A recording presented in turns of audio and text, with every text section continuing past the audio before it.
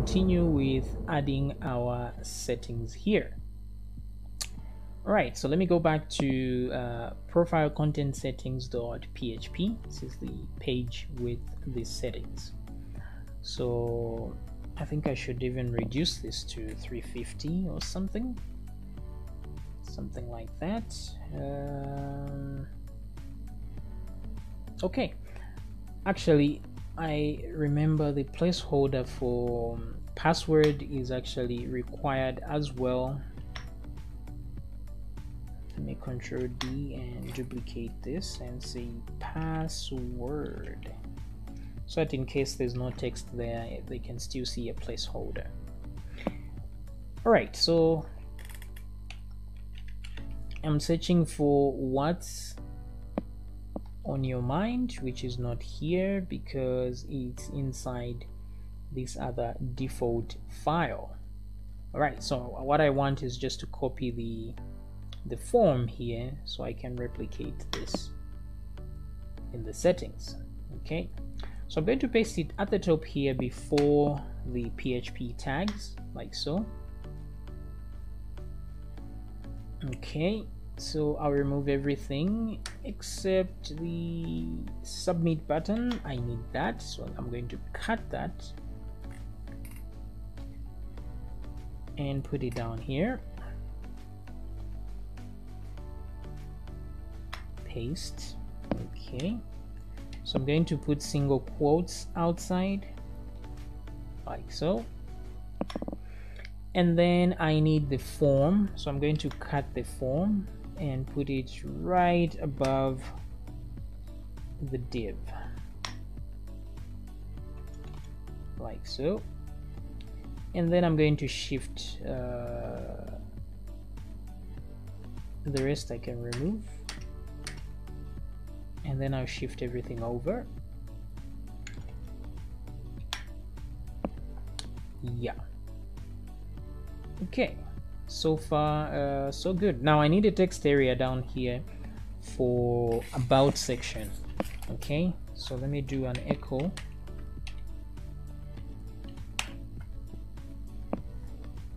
And then I'm going to say about me.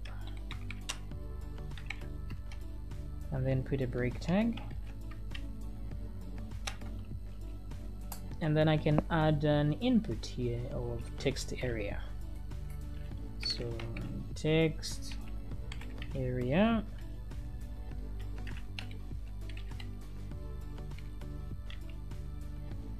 Text area again.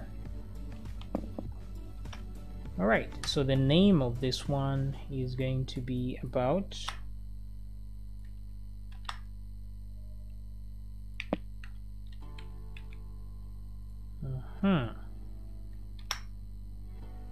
And the value of it is going to be in between these two, and then it's going to be about just like that.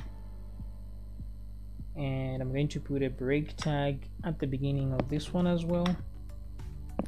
Alright, so that should do it. About me, okay let me add a um, ID of text box as well on this text area so that uh, it gets the same styles. The only thing I might need to change is the height so there we go. So it's too short. So let me add a style. Height 200 pixels let's try that. And there we go. So about me. And then instead of post it's going to be save.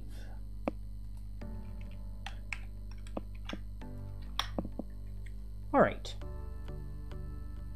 So the design of it is done.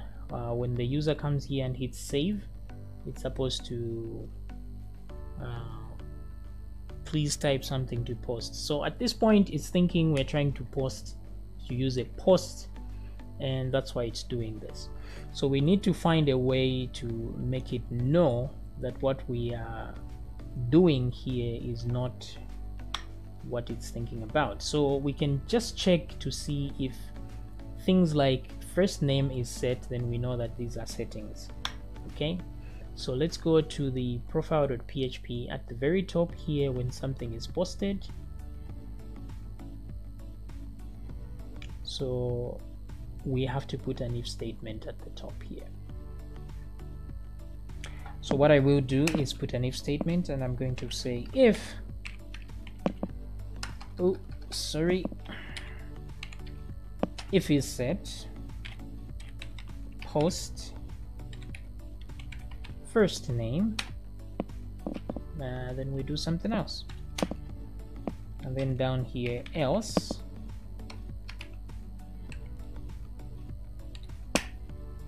Else we know it's a post. So let me push those in there and then move them over.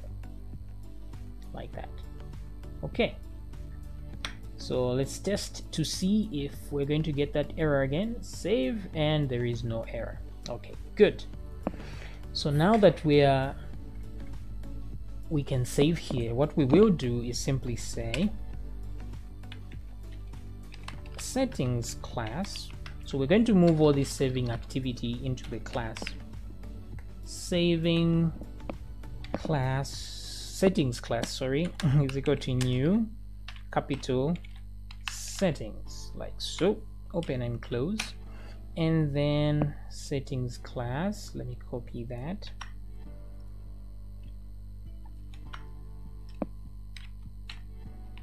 Save. Settings. And then what do we give it? We give it the post variable. As simple as that. And that's it. So we go to our settings class here and we're going to create this public function. What did we name it? Save settings. Okay so we're going to say save settings. And that's it. This one we're going to name it data or data. Uh -huh. all right so there are a few things we need to check for here now it's important when we come back here to avoid uh, being hacked in the settings here. As usual these things we have to use the HTML special chars. So do not forget that. So let me let me select all these guys where the settings is used there and then I'll take a step back. Do that oh yes do that point and then go to the very end. Oh actually right at the beginning here I'm going to say let me move this step back. Html special chars okay delete delete like that okay so now we are coming to the because I have to put special chars this whole thing. So let me try and get grab these guys. Okay. Oh it seems some of these didn't have uh... okay the idea is that I need a closing bracket here actually what I yeah I need a closing bracket and a dot there. Same thing here. Like that but something seems to be wrong. All right so I need uh, inverted commas in there as well. Still something doesn't seem right. Oh forgot. I needed that. Okay that as well so I'm just going to copy how this looks like here so that I can uh, simply paste it where I want to okay so HTML special chars is to convert any special uh, characters into HTML friendly characters. So let me paste here. And like that okay so far so good. Let me paste here and do the same there. Boop. and there as well and there as well.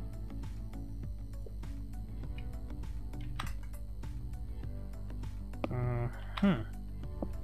okay so I think uh, everything is good. So let's try and refresh this resend oops mail has something there.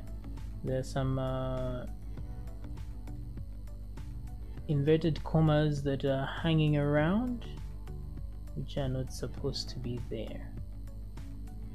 So like on options here I didn't need it. Where else? In the in the text area as well I didn't need it okay let me save. Resend. Right so we are good to go. Now let's go to the save part here. Okay so now we get our data here.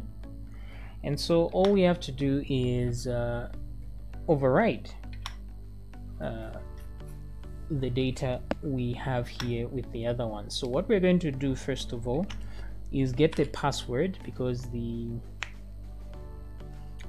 in case the password has changed we might need to uh, we may need to encrypt it. So password is equal to data password. Okay. Now we must ask ourselves because we know the encrypted version is 40 characters long so we say if password.